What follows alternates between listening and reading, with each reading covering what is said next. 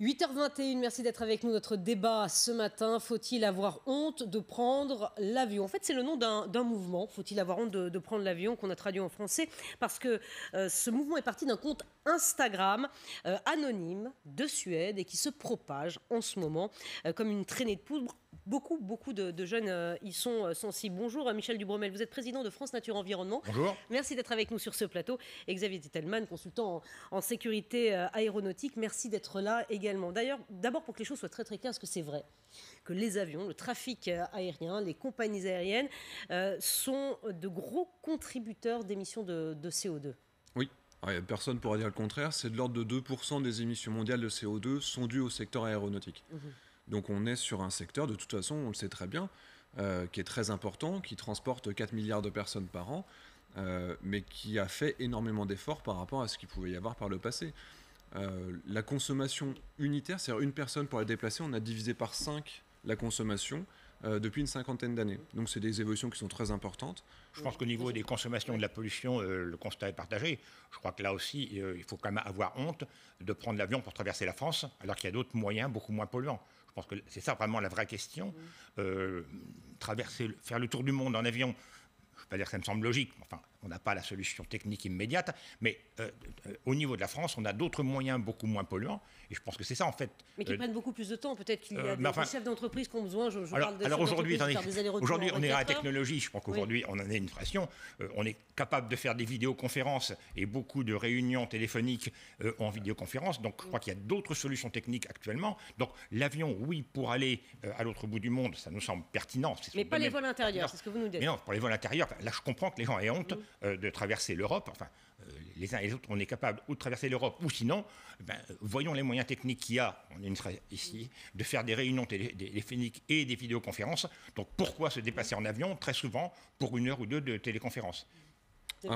Non, mais c'est une réalité, évidemment, quand on peut remplacer l'avion par un mode de transport terrestre s'il prend le même temps, on pense par exemple au Paris-Marseille, qu'évidemment l'aviation représente plus que 10% du trajet, alors que si, sinon ça aurait continué à progresser. Il y a certainement des moyens alternatifs.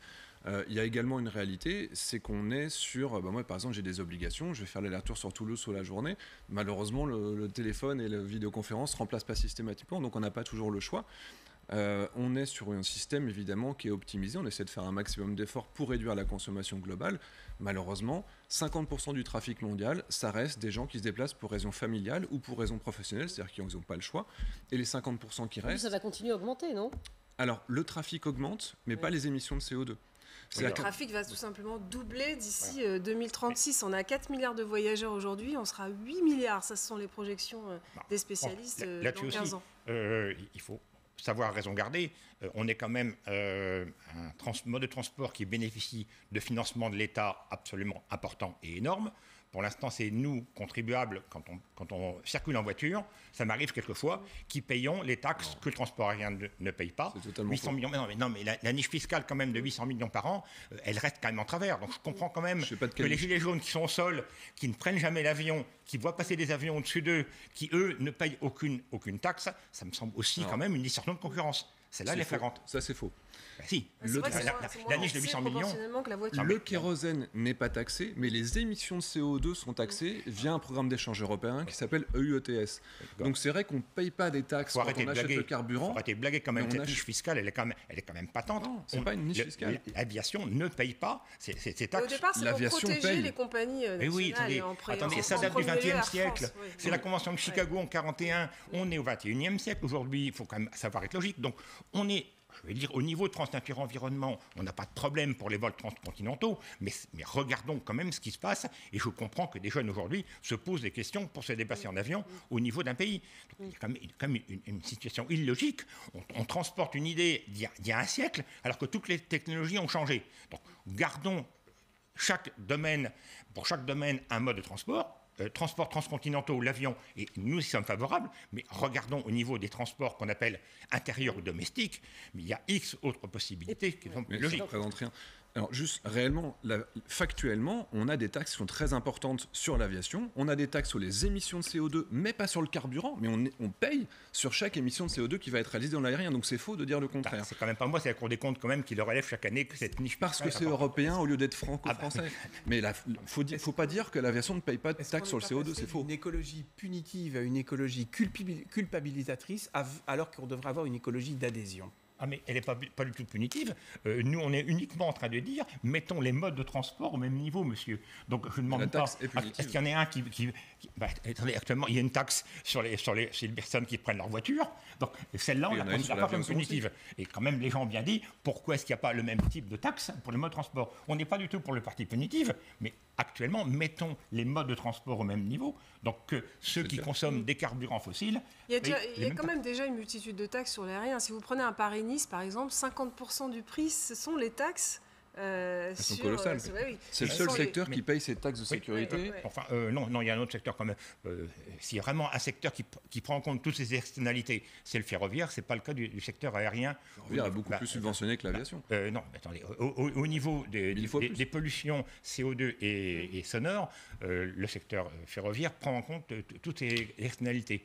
Donc pour nous, il n'est pas normal. Et je ne parle pas du tout de punitif, si vous voulez. Je parle uniquement au niveau fiscalité je comprends très bien les gens qui disent pourquoi est-ce qu'il n'y a pas la même fiscalité c'est une chose directe et autre. Et même, sur, même sur le sonore.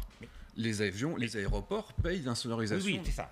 bien sûr. Je, connais, je connais les taxes d'aéroport, donc c'est un point important. Mais l'argent ne réglera jamais le problème de la pollution. Ah mais... Et il ne changera rien, il va être pire. Mais si vous taxez le vol en France, à ce moment-là, peut-être que les compagnies françaises seront moins efficaces, et à ce moment-là, peut-être qu'on va faire une escale en Allemagne, et un vol avec escale est plus polluant qu'un vol direct. Mais, nous parlons d'abord des vols intérieurs, donc vous n'avez pas répondu sur ce domaine-là. Il me semble quand même, et je comprends très bien ce mouvement de certains pays qui disent, au niveau des vols intérieurs, il sera quand même beaucoup plus cohérent, euh, qui est une égalité entre les, les, les formes de transport, et pour nous, elle n'est pas présente. C'est exactement ce que je viens de dire.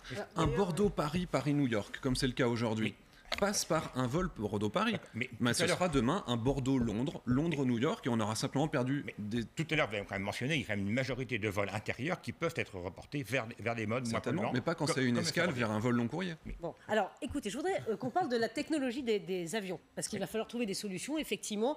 Euh, c'est vrai qu'on avait cette image de Solar Impulse, je ne sais pas si vous vous en souvenez, il y a des tests qui sont faits de cet avion qui a réussi à faire le tour du monde avec ses ailes gigantesques, effectivement, avec ses panneaux solaires. On est très très loin de, de ça, mais on voit qu'effectivement, il y a des mouvements euh, qui sont lancés pour trouver des, solutions. On en est où?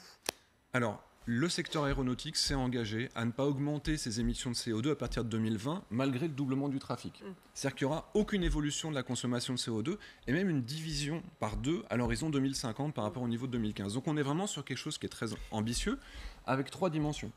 Les agrocarburants, etc., pour remplacer le fuel mm. traditionnel, les évolutions technologiques, on est déjà de l'ordre de 1,5 à 2% d'évolution par an, euh, et l'optimisation des opérations. Si aujourd'hui l'Europe s'était mieux organisée au niveau du trafic aérien, on a demain 10% d'émissions de CO2 sur l'Europe. Mmh. Voilà, donc c'est euh, effectivement ça. ça ah, mais le secteur s'améliore. Nous sommes tout à fait favorables sur les améliorations, mais vous savez très bien que sur les biocarburants, il faudra qu'un jour on choisisse.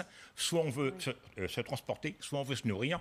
Et ce débat n'est toujours pas résolu. Et on se rend bien compte que développer les biocarburants on considère que c'est une bonne idée par rapport aux fossiles, mais il faudra qu'on sache un jour si on veut continuer à manger, avoir des forêts ou si on veut se, se, déplacer. Alors, et je pense qu'on a besoin quand même de manger, tandis qu'on peut. En euh, l'occurrence, il n'y a pas de concurrence directe. allez-y, non, non. Non, il n'y a pas de concurrence directe sur les agrocarburants, ah. puisque ce sont les résidus, les poubelles, etc. qui sont euh. Actuellement, quand même, les déforestations qu'il y a en Indonésie sont quand même la preuve qu'il y a une concurrence. mais le fuel de voiture n'est pas ah bah, celui des avions. hybrides, c'est pour bientôt avec Alors, l'objectif, Airbus s'engage à faire des avions qui sont à propulsion électrique d'ici une dizaine d'années. On a des grands projets, comme par exemple EasyJet au début 2030. Donc d'ici quelques années, on pourra faire des trajets vraiment euh, on, aura, moins mauvaise conscience en, prenant l'avion. Euh, c'est déjà, déjà, un effort, effectivement. Et qu'on le prenne dans les domaines de compétences où il le faut. Aujourd'hui, un dernier mot. Aujourd'hui, les avions qui décollent de France, une consommation, c'est 3,4 litres au 100 par passager. Donc on est déjà sur des efforts énormes qui ont été réalisés. Merci beaucoup. Merci beaucoup à vous deux.